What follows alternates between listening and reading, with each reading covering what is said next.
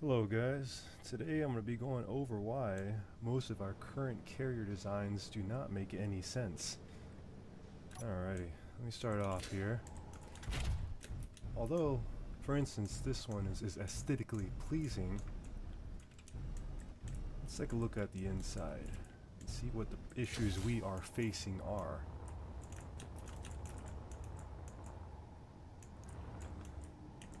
First off, there's not a lot of room in here. Not a lot of room for the drones to get out of here. Especially if your ship is moving. That is a very narrow space for it to go. Now moving on over here. Yeah, we got some side doors here. But from the way the layout is, you'd expect a lot of the drones to come out this way. I mean, it's good if you're just launching them, but if you wanted them to return, that'd be a huge issue. Let's take this guy for, let's take him out of here. Don't get me wrong, this is a nice ship, I really like it. Alright, well. um, alrighty. Inside's cramped. A lot of the room is not used for the fighters, but I believe that ship is just for mostly looks. Now on to this one. This one here is a little more practical. Most of the ships are going to be exposed on this one. You can't just land it here, you know, you can't program them to do whatever you want. Um, but for the most part, yeah, it's a, it's a good solid ship. Pretty massive though. This I would say this one's fairly good. But that is the exception. Most of the ships here have the same issue. Take for instance this one. Looks fairly nice. Once you go on the inside, if I could, maybe I could fit. Let me find out here.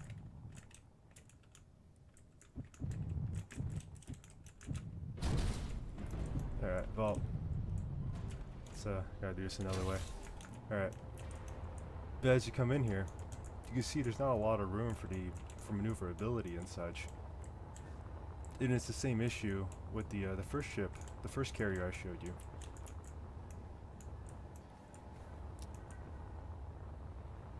If you look here, you know, you're gonna have to maneuver these ships around. You're gonna have to land them, of course uh, go over each one of these with the AI recording block. And if you got a lot of ships moving, and your ship is moving as well, it's going to be a disaster in here. And this thing's going to be ripped apart from the inside. Let's get back out of here. I think one way they could have alleviated it to some degree is if you had the exit, you know, on the front, and you had an entrance in the rear, that would be very, very beneficial. But some ships, they have bypassed this problem altogether. And also, this is just another exit. It's not an entrance. It does not link up to the other side. Anyways, some ships have bypassed this. Oh, well, it's not what I wanted. Me show you something here. Now this design, pretty basic, pretty cool. Let me get something here.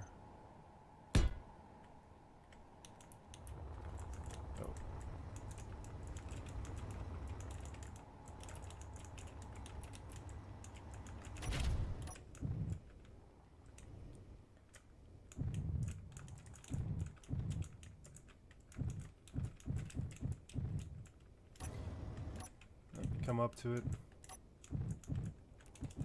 It opens up for you after flashing a few times. Let's see, what's the name of this guy here? Uh, not being broadcasted. Opens up. You're able to fly in. Decent amount of space for probably a larger fighter.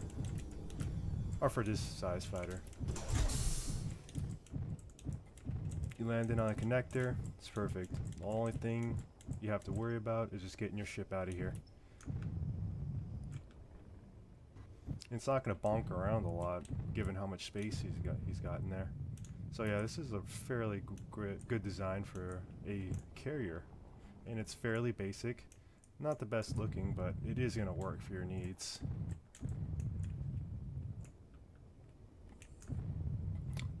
There's a few other carriers down there. Uh, let's slow down here. They're very basic, but they'll get the job done. Uh, everything's exposed though, and you know, depending on circumstances, you know, maybe that could be a problem. Um, but if you're competent, I'm pretty sure it wouldn't. Submarine. This thing is a terrible atmospheric carrier. This thing does not fly properly by itself. You really have to be on top of it, but uh, I guess this is an okay example. So you got the exit and you got the entrance from the rear. And it probably makes sense to have two AI recording blocks, one for the deployment and the other for the return, and you can probably have it return from the rear. So if you're deploying, you know, if you're, you know, say if you had a carrier that was building other fighters as they're being destroyed, um, and they're associated to these connectors, you could have them made, and then they can be launched. And that way, you know, the ones that run out of ammunition or whatever, they can return, and they won't be in the way of the fighters that are taking off. A really good example here is probably one you guys all know and love. Me delete a few of these here real quick. If my game doesn't freeze.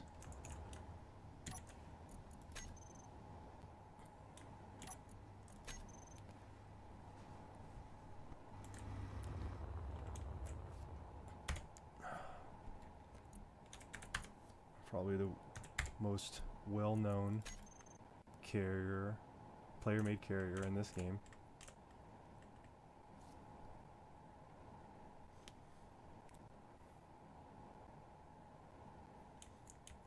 Literally based off the Wyvern super carrier from EVE Online. There's no doubt about that.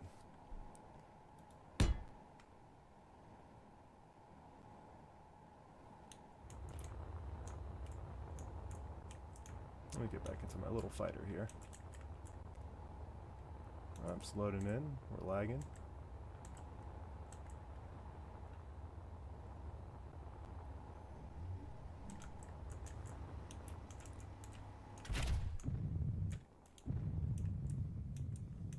It is. Revelation. Although it has a bulky design, it's it's somewhat practical uh, besides its PCU and um, block cost to build it. It's very expensive and impractical um, given its PCU cost. But in overall design, it makes sense as a carrier.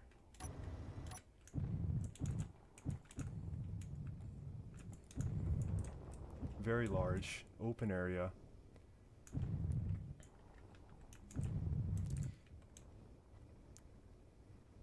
They can fly in from the rear, exit from the front, and that's what you want, so things aren't just running into each other. It's a lot of room to move around as well. And I think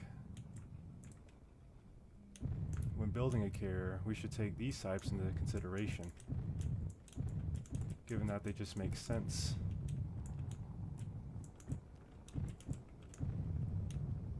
Oh, there we go. oh shit. um, yeah. So that's just my review on these carriers, what makes sense, what works, and what doesn't.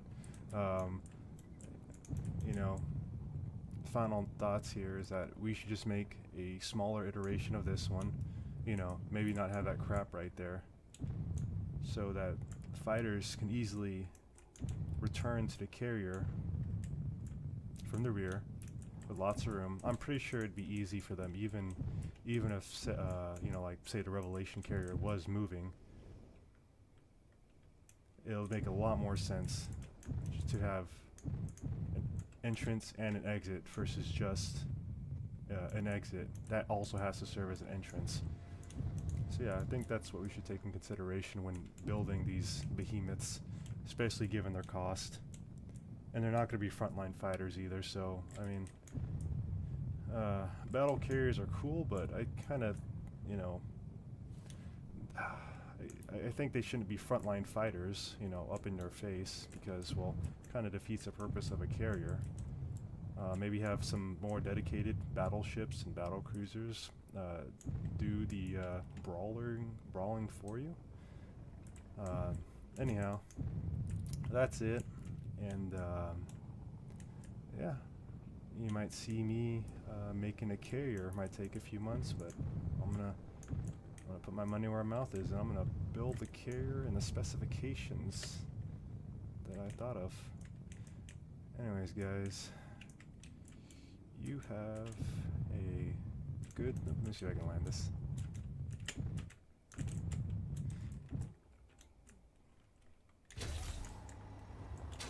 Anyways, guys,